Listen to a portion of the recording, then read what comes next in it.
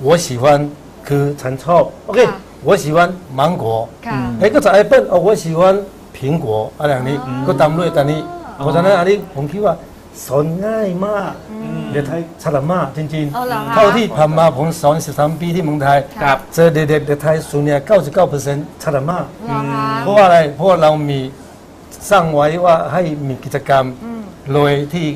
ที่กิจกรรมทำเอ่อค่ะหมายถึงว่าก็อะไรคือมันเป็นหลักสูตรพิเศษมีกิจกรรมที่จะทำให้เด็กๆ เนี่ยเรียนไปด้วยสนุกไปด้วยจำง่ายด้วย ใช่ถูกต้องครับ ใช่ไหม แล้วแล้วอย่างผู้ใหญ่ล่ะครับ พอไปได้ไหมครับ อย่างนี้ โอเคอายุเท่าไหร่อ้าวผู้ใหญ่แล้วอะไรอย่างผู้ใหญ่ล่ะฮะ สอน ผู้ใหญ่โอเคถ้าผู้ใหญ่เราพูดครับ พูดถึงว่าเมื่อกี้เมื่อกี้พูดถึงว่า TPR ครับ TPR จริงๆแล้วคือเอ่อ totally totally physical response อืมหมายถึงว่าพูดไปด้วยสอนไปด้วย ครับอย่างเช่นนะ เดี๋ยวเดี๋ยวเอาเอามือเปล่าๆนะอะมาอัมานนี้เรายังไม่ไม่ไม่ไม่ไม่ไม่เรียนภาษาจีนเนาะยังไม่ครัเรียบนโอเคนะเดี๋ยวผมมาให้ประมาณหนึ่งนาที เฮ้ยผมผมได้แล้วครับได้ผมผมได้ผมหนึ่งนาที ผมได้คำหนึ่งฮะได้ครับผมคำว่า นี่เหรอโบไอหนีเดี๋ยวนี้ผมได้จริง เออโอเคเดี๋ยวนี้ครูสุเนี่ยจะสอนนี่สอนท่านนี่ไม่เกินหนึ่งนาทีอ๋อได้เหรอสามประโยค โอ้โห โอเคเนาะ เออ อ่ะคุณผู้ชม สาม เดี๋ยว ประโยค เรียนไป หนึ่งนาที พร้อมๆกันเลยนะ ใช่ ลองดูนะ งกันค่ะ ใช่ใช่ให้คุณผู้ชมก็ทำไป ครับ ทำ ค่ะ โดยครู เรา สุ จะ เนี่ยนะครับ เรียนไปด้วย โอเค กัน นะโอเค ค่ะ นะอันที่หนึ่ง吃饭 ชื่อฟ้าน ชื่อ ชื่อ ฟ้าน 吃饭 ชื่อฟ้าน 吃饭 ชื่อฟ้าน โอเค吃饭คือ กินข้าว โอเคคือกินข้าวนะ อ่า โอเคอีกครั้งหนึงนะอีกครั้งหนึงนะทบทวนอีกครั้ง吃饭 ชื่อฟ้าน โอเค看ข้าน 电视 ข้าน เตียนซื่อ เตียน โอเค看 ข้าน 电视 เตียนชื่อ ข้าน โอเค เตียน อีกค ซื่ รั้งหนึง อ นะ看 ข้าน ข้าน 电视 เตียนชื่อ โอเคก็นั่นคืออะไรครับ ข้านเตียนซื่อโทรทัศน์หรือเปล่า ถูกต้องแล้วครับโอเคโอ้สลับมาโอเคไอ้ว่า看电视คือดูทีวีโอเคครับโอเคเดี๋ยวคำที่สามว่า喝水 เคอช่วย เคอสวย 喝水 เค เค อ อ ช่วย สวย 喝水 เคอสวย โอเคเราทบทวนอีกครั้งหนึงนะ吃饭 ชื่อฟ้าน ชื่อฟ้าน 看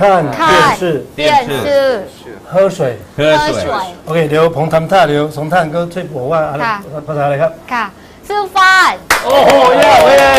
ครับเลยโอเค เออพี่เก่งๆเนาะ โอเคต่อไป ค่ะ อะไรนะข้านข้านข้านข้านชื่อซื่อสวยเตียนเตียนเซียน โอเคอะไรได้อะไรได้ผ่านโอเคข้านเจียนซื่อเออเคอสวยโอเคเคอสวยเมื่อกี้ผมเมื่อกี้ซื่ผอมฟ้านเคอสวยเออโอเคเมื่อกี้ผมจับเวลาแล้ว 55 วินาทีครับฮะจับเวลาแล้วเออเออเร็วนะ ยังไงกันไปเมืองจีนเราไม่อดตายละ ใช่ครับ ไปถึงซื่อฟ้าน ยังไงก็ได้ละ เออเพราะฉะนั้นส่วนใหญ่เรียนกับเรียนกับเรียนรู้สึกเรียนที่บ้านภาษาส่วนใหญ่ก็ค่ะได้ผลกลับไปอ๋อก็บอกผมก็ยิงก็ก็ค่ะยิงใหญ่ก็เลยอะก็เลยใช่อันนี้คือวิธีการสอนภาษาจีนใช่ครับแล้วการสอนภาษาอังกฤษโอนะเคคะเท่านั้นค่ะ teacher TPR, how about teacher TPR? Fly Yes, Yes, um,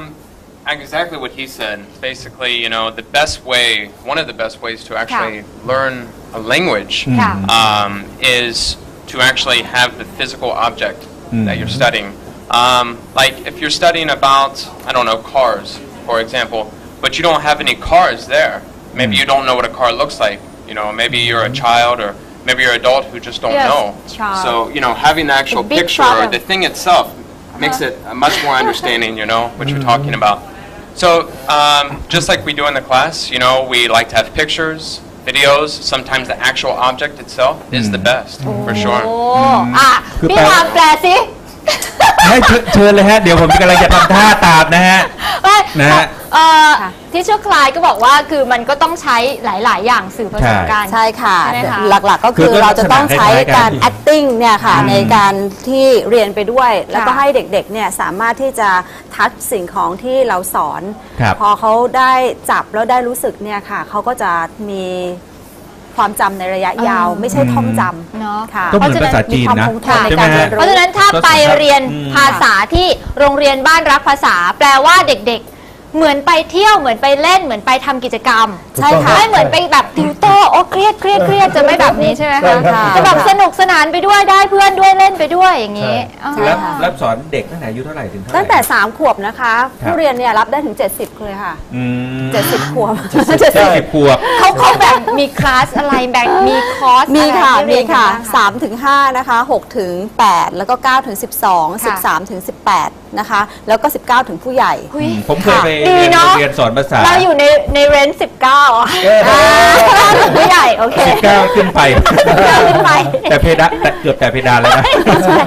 ปกติไปเรียนโรงเรียนสอนภาษาก็จะมีการ test ก่อน ใช่เพื่อวัดค่ะระดับนี่นี่แต่นะฮะน่ารักเป็นอย่างนั้นด้วยไหมครับค่ะ ต้องมีการ test เราต้องมีการ test ก่อนนะคะ เพื่อที่จะรู้ระดับของเด็กนะคะ แล้วครับจัดระดับที่เหมาะสม ค่ะ คือต้องต้องยอมรับว่าวุฒิภาวะเขาไม่เท่ากันนะคะ เพราะฉะนั้นเราจะจัดให้กลุ่มเนี่ยไม่เกิน 3 ขวบอืมห่างกันนะคะ อายุ ครับแล้วก็เน้นหนักที่การ เอ่อ communication นะคะเน้นการสื่อสารการพูดให้คุยเป็นหลักการสื่อสารใช่ครับถ้าเด็กยิ่งเรียนยิ่งเล็กยิ่งดีค่ะอืมค่ะ เขาจะมีการพัฒนาการออกเสียงมาพร้อมกับการพัฒนาอวัยวะในปากของเขา จะได้นคดูปากนิชานะคะชื่อฟานอย่างนี้ก็จะเหมือนแบบนั้นเลยนะถ้าเกิดเขามาเรียนตั้งแต่ตัวเล็กๆ ใช่ใช่ก็จะได้สามารถเรียนรู้ได้แบบเจ้าของภาษาถึง 95%ค่ะโอ้เอาแล้วถ้าอย่างเราวัยปลายแล้วไปเรียนจะได้ไหมคะ ได้หมดเราซื้อจะแบบทุกคนได้หมดนะครับได้นะคะเพราะว่าเรามีคอร์สที่สวนผู้ใหญ่นะครับ ครับ อย่างครูช่วงกับผมครับมีประสบการณ์ที่มาถึงไทย เราไปอบรมเอ่อข้าราชการที่ทำงานที่ผู้ตำแหน่งนะคะอยู่ค่ะที่กระทรวงยุติธรรมเคยไปอบรมนะครับ CP แล้วก็ CP กงสรรพากรนะครับอ๋อผู้ใหญ่ไปหมดใช้เวลานานไหมเนาะกี่วันไหมฮะเอ่อส่วนมากเขาใช้เป็นคอร์สหนึ่งประมาณ 90 ชั่วโมง ไม่กี่เดือนวันนะครับ อ๋อ90ชั่วโมงหรือว่า 50ชั่วโมแต่งว่าก็ได้ต้องได้ประกาศนียบัตรด้วย เอ่อเพื่อย่าง certificate ได้ เราเคยไปสวนลูกสี่ที่ไปทำงานอยู่ที่สนามบินสุวรรณภูมินะครับครับ เกี่ยวกับเครื่องภาษี ค่ะ เครื่องให้นักท่องเที่ยว อ่าส่วนมากมาเที่ยวไทยคนจีนก็เยอะมากนะครับ ค่ะเวลาเครื่องภาษีครับคุยไม่รู้เรื่องมันงานเขาอ่าใช่ไหมครับ ใช่ครับเราไปอบรมให้เขา 50 ชั่วโมงนะครับครับทุกคนนะครับพูดตรงที่เขาได้เกิดเลยภาษีได้หมดนะครับ โอ้ดีมากนะคะ อย่างน้อยๆเนี่ยการสื่อสารพูดคุยกัน เข้าใจค่ะรู้เรื่องใช่ค่ะ ไม่อดตายและซื่อฟ้านใช่ไหม ใช่นะ พี่เชื่อคลายคะ ถ้าครับ นักเรียนรุ่นนี้ อายุขนาดนี้เรียนได้ไหมคะ this the age is like this can can ยังสอนได้ไหมคะ เรียนได้ไหมคะ English Of course. Um, what's great is it doesn't matter if you're a child, it doesn't matter if you're an adult. Um, you're learning a new language. Uh, you, I think of it like this: when you were born, you had to learn Thai. Yeah. How did you learn Thai? Right. Uh, you listen to your mother or your brother, right? And you listen, and hmm. they bring you food, you know, hmm. and they say ginkao, ginkao gin mai," you know, hmm. and you think, and you put these things together, and you think, "Ah, it's time to eat," you know. So it's actually exactly what Shun's saying. You know, it's you, you see the object or you see the person and you hear the words mm-hmm. and it connects and it all starts to mm. make sense. And then mm. Now you have experience with the language and now you can actually start to speak it. ค่ะ So that's kind of what we're doing is kind of teaching you as if you were a, a child uh, coming up through age and being taught by your parents, uh, but in a very short period of time. yes So that's kind of how we do it. Yeah, it's it's it's very fascinating how it's actually done. It's um, it's different than memorization. Uh, a lot of times they teach you out there, uh, like in different schools, universities, uh, just to memorize. Uh, what we're kind of aiming for is actually to know. Uh, we don't have to think about it. Uh, where next week uh, someone asks you. Um, a question and you don't have to think, oh, how do I answer that in that language? You know, like, hold on, you know, you just you just know without thinking about it. And that's Yeah. kind of what we're going for. อืมก็คือเขาก็ประมาณว่าการเรียนของที่บ้านรักภาษาเนี่ย จะให้ใช้วิธีการเรียนแบบ learning by doing ใช่ค่ะ ให้ทใช่ำให้ทำแล้วก็ใช้สัญชาตญาณในการเรียน ใช่ แล้วเราก็จะสามารถซึมซับเรียนได้เหมือนตั้งแต่เกิดอะ ตอนเด็กๆ เราก็พูดไม่ได้อะทำไมเราถึงรู้ว่าพ่อแม่พูดอะไรกับเรา ใช่ไหมถูกต้องอ่าอันนี้ก็เหมือนกันก็จะใช้วิธีการใช่วิทุกธีภาษาดีวกัจะเรียนแบบนี้ ค่ะ ทั้งภาษาอังกฤษแล้วก็ภาษาจีนค่ะ นะคะใช่ครับ ตอนนี้ถ้าหากว่าคุณผู้ชมสนใจไปเรียนได้ที่ไหนบ้างคะ บ้านรักภาษาอยู่ที่ไหนเอ่บ้าอง บ้านรักภาษาเนี่ยมีสำนักงานใหญ่อยู่ที่ถนนไซม้านะคะ ที่นนทบุรีค่ะสาขาที่ 2 อยู่ที่ไวท์มอลถนนประชาราษฎร์นะคะบางซื่อค่ะสาขาที่ 3 อยู่ที่ศรีราชาค่ะ ตรงอืมตรงข้ามค่ายวชิราวุธนะคะ ค่ะครับสาขาทีสี่ 4 อยู่ที่สัมพลานค่ะ ซอยวัดไร่ขิง อืมสาขาที่ 5 อยู่ที่บางนานะคะ ครับหมู่บ้านไพโรธอืม แล้วก็ สาขาที่ 6 เนี่ย ที่รามอินทรากำลังจะเปิดวันที่ 14 นี้นะครัคะบแล้วก็สาขาอีกที่หนึ่งน้องใหม่นะคะใช่ที่สี่แยกมินซายสี่แยที่กรัมินชซายดาครับ อ๋อแล้วก็เมงจายเมงจายค่ะอ่าก็เราต้องไปเป็นนักเรียนกันแล้วล่ะเออใช่ไหมเพราะว่าต้องไปเพราะเรียว่านมีกันหลายแล้วสาขาใกล้บ้านท่าน หมายเลขโทรศัพท์ที่หน้าจอนะครับ ก็ลองสอบถามดูแล้วกันว่าอยากจะไปเรียนที่ไหนอย่างไรค่ะจริงๆการการทำให้ทักษะของเด็กสักคนหนึ่งสามารถจะพูดคุยได้เนี่ยใช้เวลา คอร์สหนึ่งนิดพอไหมฮะ ไม่ไม่นานนะคะ แต่ก็ไม่เร็วนะ เพราะว่าต้องยอมรับว่า 1 สัปดาห์เรียนประมาณสัก 2 ชั่วโมงอย่างเงี้ยค่ะ ครับก็อาจจะปีหนึ่งได้แค่ 100 ชั่วโมงหรือ 75 ชั่วโมงเองอืมนะคะ เพราะฉะนั้นก็ต้องใช้เวลาประมาณสักที่เราเคยทำวิจัยมาเนี่คยรับ ค่ะ คือ 4 ปี 7 เดือน เด็กคนหนึ่งจะมีภาษาที่ 2 หรือภาษาที่ 3 ในตัว อืม อ๋อ แล้วเรียนอย่างต่อเนื่องครับค่ะค่ะจะได้น่าสนใจ จะได้เอ่อติดตัวเป็นความรู้อย่างเช่น เวลาเราขับรถได้แล้วขับครัรบถได้เลย อืมว่ายน้ำได้แล้วก็ได้ว่ายได้เลยเลยอย่างงี้นะเออนะค่ะ น่าสนใจนะ เพราะว่าตอนนี้คุณผู้ชม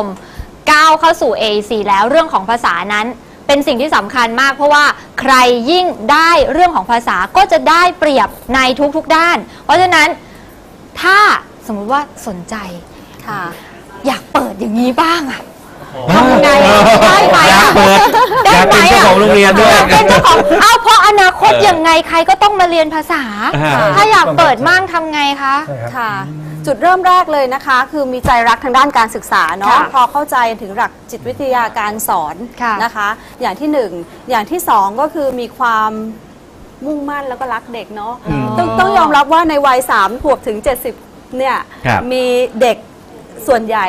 85%อยู่ในวัยของ 3 ขวบถึง 10 ขวบ อืมก็จะเล็กๆอะค่ะอืมนะคะ ก็ต้องชอบเด็กครับนะคะ ในส่วนอื่นๆเนี่ยเอ่อทางบ้านรับภาษาและทีมงานแฟรนไชส์เนี่ยค่ะอืมทำให้หมดทั้งเลยค่ะอืมนะคะ อ๋อ ถ้าเกิดคุณครูสนใจมีให้ค่ะ มีการจัดทั้งหลักสูตรนะคะ ครับเป็นหลักเป็นสูตรแบบมีหลักสูตรที่นำไปใช้ในชีวิตประจำวันได้อย่างที่เราจัดเนี่ยค่ะ มีครับ การทัศนศึกษา เพราะหลักสูตรนี้ผ่านกระทรวงมีศึกษาด้วยใช่ไหมฮะ ผ่านค่ะ อืมได้รับการรับรองจากกระทรวงศึกษาธิการนะคะ อ่าฮะ เอ่อแล้วก็มีการจัดเรื่องครูนะคะ ครับ มีการจัดสื่อการสอน อืมฮึข้อสอบประเมินผลแบบครับ ฝึกหัด แล้วก็สื่อการสอนทั้งหมดคือทั้งแปลว่าเรียนเราแค่มีใจรัก เรามีใช่ทุนมีเงิน ที่เหลือที่เหลือบ้านรักภาษาจัดให้หมดเลยใช่ค่ะไหมคะใช่ เราต้องมีทุนสตาร์ทสักเท่าไหร่ มีทุนสตาร์ทเริ่มแรกนะคะ ภาษาอังกฤษกับภาษาจีน 2 หลักสูตรเนี่ยค่ะ อยู่ครับ ที่ เคยคิดมาแล้วว่าถ้ารวมทั้งหมดเลยทั้งเรื่องเช่าตึกทั้งเรื่อง air condition ทั้งเรื่องเอ่อในในคือเจ้าของที่เนี่ยค่ะ มีแค่ที่ทางอย่างเดียวอาจจะต้อง renovate สักหน่อยนะครัคะบ แต่ถ้ามีอย่างต่ำเนี่ย เอ่อมีเอาแบบน้อยๆเลยคือ 427000 ค่ะสี่สอง4 2 7เจ็ด0 0 0 บาทเท่านั้นเองได้เหรอสองภาษาค่ะ มีแค่สี่แสนเราเป็นเจ้าของโรงเรียนสอนภาษาได้แล้วเหรอ ได้แล้วค่ะ เราซื้อเก๋เราได้เรียนตลอดชีวิตด้วยนะ เราได้เรียนตลอดชีวิตด้วยนะ เอนี่อนี่เขาไอเดียบันเจิดอีกแล้วนะใช่ไหมฮะแต่สิ่งสี่แสที่นกว่า น่าสนใจค่ะมากกว่านั้นก็คือนอกจากคุณได้เรียนคุณได้เปิดโอกาสให้กับเด็กใช่ๆนัเรียนค่ะคือผมว่าวันนี้เนี่ยทางโรงเรียนสอนภาษามี สาขาอยู่ในกรุงเทพมหานครอืมแต่จริงค่ะๆต่างจังหวัดมากมายเลยนะครับค่ะ ในเมืองไทยแล้วก็เด็กๆ ต้องการพัฒนาอีกเยอะใช่ไหมพี่เก๋ใช่แล้จะว เข้า AEC เนี่ยมันต้องเพิ่มอืม มันต้องเริ่มจริงนะแต่สิ่งใคร ที่อีกเรื่องหนึ่งนะที่ที่ยังไม่ได้คุยกันก็คือเรื่องของการทัศนศึกษา ค่ะ จัดโปรแกรมทัศยันงไงศึกษายังไง ต่างประเทศด้วยเหรอคเรารับ ซื้อต้าเหวยใช่ไหมตอนนี้ต้าเหวยทำโครงการ ใช่ ทัศนศึกษาไต้หวันอยู่ เด็กๆครับเด็กๆก็ชอบให้เราพาไปเที่ยวพาไปอืที่มนู่นนั่นนะครับ ผู้ใหญ่ก็ชอบค่ะอ่าปัจจุบันนี้เรามีทัศนการศึกษาภายในกับภายนอกนะครับค่ะแบบสองภายในประเทศไทยนะครับ เราพานักเรียนนักศึกษาเราไปเที่ยวพูดถึงเที่ยวนะนักเรียนน่าจะชอบนะอ่าไปเที่ยวอ่าจิมวอลซาฟารีวอลโอ้หรือว่าเป็นสถานที่ท่องเที่ยวสถานที่ไทยมีเสื้อเสียง ค่ะแต่ว่ามีนักท่องเที่ยวต่างชาติมาเที่ยวเยอะกันนะครับอือฮึนั่นก็ก็คือเวลาพาเด็กนะครับ ผู้อืมพวกคนบางคนแค่ไปเที่ยวไม่ใช่ครับ อืมเราก็ไปทำชิปไปนั่นนะครับ อืมมีคำถามสี่คำถามอ๋อแต่ว่ามากกว่าสี่คำถามแล้วแต่เตะที่พื้นฐานนะครับ ค่ะ อืม แล้วก็ให้เตะไปเทอไว้ไปหานักท่องเที่ยวต่างชาติอืมไม่ว่าเป็นเจ้าของภาษาอืมคนจีนคนฝรั่งได้หมอ๋ดอ นะครับ ก็มีโจทย์ ก็เป็นให้เขาเป็นเหมือนการเรียนไปด้วย ใช่ ให้เขาไปพูดภาษาจีน ภภาษาอังกฤษกับครับ เด็กับเราคนอื่นๆ ถามเขาแล้วก็เขาตอบได้แล้วก็อ่า นักท่องเที่ยวจะให้คะแนนอ่าน่าวิรักดีจังเลยอะ ดีจังเลย เพโอราะเคว่าเราจะส่งมาให้ครูครูเนี่ยได้คะแนนแล้วครับครูก็อ่ายินดีนะคะเขาจะได้ไปเจอกับเจ้าของภาษาจริงๆเพราะว่าบางทีคุ้นเคยกับเหล่าซื้อคุ้นเคยกับทิชเชอร์ที่โรงเรียนแล้วไปเจอข้างนอกนี่เอาบางคนพูดไม่ได้เฮ้ยยังไงนะไม่กล้าอันนี้จะออกนะครับ ไปลองจริง ๆ เลย ใช่อย่างอย่างที่ครูซุนน่าบรัอกกเนี่ยนะพอเจอเจออันนี้คือในประเทศเจ้าของแล้วหนีเลยค่ะ ใช่ ไปอันนี้จอดอยู่หลังเลยค่ะอย่างเงี้ยอันนี้คือพาไปเที่ยวในประเทศแล้วต่างประเทศเราล่ะไปคะ ต่างประเทศตัวนี้เราอ่าเคยไปส่งทัศนศึกษาเอ่อนักเอ่อนักเรียนนักศึกษาไปเที่ยวเอ่อไต้หวันไม่จะไปเที่ยวครับไปเรียนโอเคไปเรียคนรับไต้หวันนะครับอืม อ่าไปที่ที่จีน厦门เซินเจิ้นครับปักกิ่ง นะครับอ๋อ เซี่ยงไฮ้บ้างด้วยนะเหรคอรับคะครับไปเที่ยวหลายประเทศนะครับ อุ้ยตายแล้วอยากไปเซินเจิ้นไปช้อปปิ้งอยากไปซื้อของ ไปซื้อขต้อองงอะต้องไป take course เรียนแบบต่อราคายังไงคะเราคือ โอ้ เวลาเราไปอยู่ที่นู่นนะครับ เราก็จัดการให้เด็กไปอยู่เป็น family นะครับค่ะ อีเป็น family ก็คือเอ่อเด็กยกเว้นที่นอนนะครับ อืมนอนหลับสบายนะครับ ค่ะ เวลาที่เหลือเขาต้องอยู่กับเจ้าของภาษาตลอดอ๋อ นะต้องพูดคุยตลอดค่ะนะไม่พูดไม่ได้นะครับนะคะนี่ก็ที่อยู่ของเราที่จัดการให้ แล้วก็อีกเรื่องหนึ่งเวลาเราจัดการปลอดภัยด้วยนะครับค่ะอ่าที่เราจัดการที่นู่นนะครับไม่ต้องห่วงว่าเออเด็กเราไปห่วงมากเลยอะไม่เคยไปไกลขนาดนี้อะครับอืม ไม่ต้อง ที่เราอะคุณครูเรารักเด็กนะครับ ค่ะ เราดูแลเด็กอย่างดีนะครับ อ่าดูแลเหมือนกับสมาชิกในครอบครัวนะคะใช่เพราะฉะนั้นครับผมก็มีตัวเลือกหลายอย่างสำหรับการที่จะส่งน้องๆ หนูๆไปเรียนที่โรงเรียนบ้านรักภาษานะคะ ก็มีทั้งแบบคอร์สนะคะที่เรียนในไทยเรียนนอกสถานที่ หรือจะพาไปทัศนศึกษาต่างประเทศแบบนี้ก็มี แต่ถ้าใครสนใจนะคะ กับการลงทุน นะที่จะเป็นเจ้าของโรงเรียนสอนภาษา ซึ่งอนาคตมันดูไกลมากเลยนะ ค่ะ ตลาดแบบว่าดูยังต้องการอีกเยอะ เพราะว่าใครๆก็ต้องการพัฒนาทักษะเรื่องการการใช้ภาษานะคะ เพียงแค่4ี่แสนกว่าบาทเป็นเจ้าของได้แล้ว ได้แล้วค่ะ โอ้ค่ะไม่ต้องมีประสบการณ์ใด คือบอกๆ ใช่ไหแค่มนี้แหละค่ะ คุณมีพื้นฐานรักเด็กอย่างที่ครูเก๋บอกนะฮะค่ะ มีพื้นฐานรักเด็กมีสถานที่แค่นี้ พอแล้วค่ะนอกจากนั้นย่งเป็นหน้าที่รของทางครูเก๋หมดเลยใช่ค่ะ นะฮะ แล้วก็เรื่องสำคัญนี่คือเท่าที่ไม่คือครูเคอธิบายแล้ว เรื่องสำคัญที่ที่ที่เรื่องอะนี่คือหมายถึงว่าคุณครู ครับถ้าคุณครูอย่างตัวอย่างเช่น ถ้าอย่างคุณครูบางทีเขาสอนไม่ค่อยได้เท่าไหร่หรือว่าไม่ดี